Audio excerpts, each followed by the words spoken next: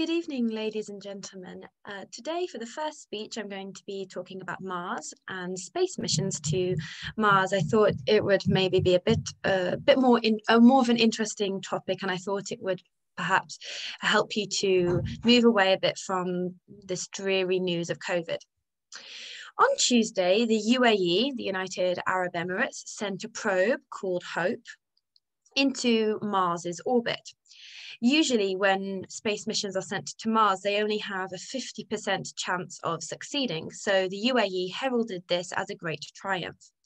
The probe, called HOPE, arrived uh, in Mars's orbit after seven months and after traveling 300, and 300 million miles. Similarly, China also sent uh, a probe into Mars's orbit after a six month journey. And uh, the leader of the mission said that this was only at the beginning and that actually China wanted to send a robot into Mars's orbit in a few months. There seems to be a bit of a bottleneck here because America has also sent a robot called Perseverance into Mars's orbit, and it is predicted that this robot will land on Mars on Thursday. What was the UAE's mission here? What was the UAE trying to achieve by all of this? Well, the basic aim of the mission was to send this probe, which would charter the changing atmosphere and the changing weather patterns on Mars. They wanted to charter the different weather patterns throughout the four seasons. And they also wanted to measure the levels of hydrogen and oxygen and then send back the data and imagery back to the Central uh, Space Station. President Bush, interestingly, announced about a decade ago that America would be sending uh, a manned mission to Mars within the next decade interestingly enough. And as we know, Elon Musk wants to colonize Mars.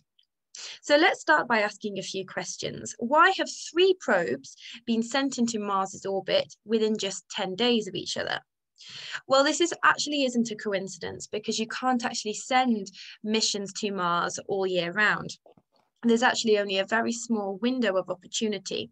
And that window of opportunity is when the Earth rotates uh, near Mars. So when the Earth and the Mar uh, Earth and Mars are both rotating uh, around the Sun and that they are close to each other, that's when you can send missions to Mars. The rest of the time, the missions will fail.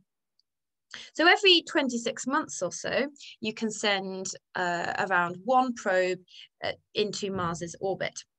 Usually these probes or robots uh, take around six months to get there because they have to travel 55 million kilometers. What about the US's mission? Well, they sent a robot and the aim of the robot was to gather samples and in so doing study the environment of Mars. They wanted to check whether basically the eventually they could send human exploration missions to Mars they actually want to establish a manned base on uh, Mars, which is very ambitious, of course. Let's look at the geopolitical aspects. Well, on the one hand, there seems to be quite a lot of cooperation. Surprisingly enough, the West cooperates quite a lot with Russia in this domain.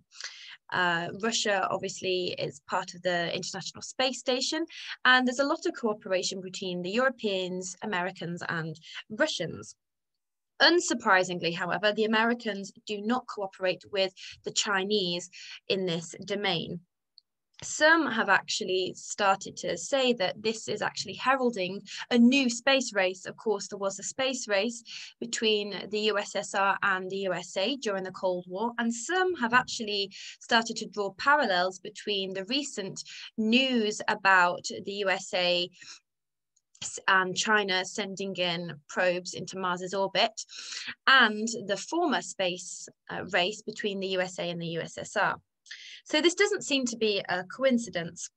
What about Europe? What's Europe doing? Well, Europe has sent two satellites into Mars. And actually, in 2022, there will be a project called ExoMars, uh, which will send probes into Mars's orbit. And the idea, again, is to gather samples and analyze the environment in, uh, in Mars. But let's have a brief look back at the UAE. So the UAE's spacecraft arrived in Mars's orbit before the Chinese or the US's mission. Of course, as we as I was saying beforehand, some are saying that this is a new space race, a new uh, desire on the part of certain countries to gain dominance in this field. As we know, the UAE is very uh, active in international policy. For example, they have been involved in conflicts in Yemen, uh, Libya, and Syria.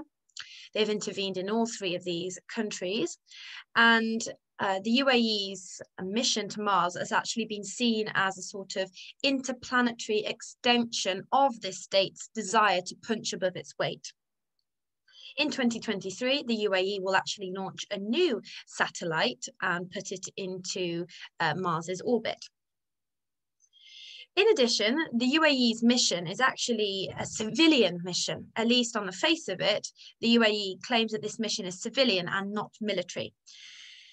Having said that, China wants to build a new moon base and a base on Mars. They want to build their own space station in Mars.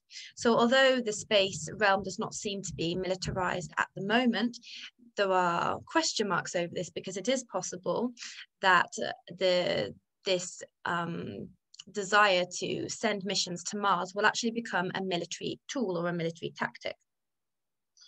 Space is actually seen as a new frontier for military action. Indeed, countries are setting up so-called Space Force units within their armed forces. And recently, the US and UK have actually accused Russia of firing anti-satellite weapons. But finally, the UAE had one other aim in sending this probe into Mars's orbit. The aim was to stimulate growth why would it do this by sending uh, a probe into Mars's orbit? Well, the aim was to inspire people, inspire young people to develop their skills and capacities.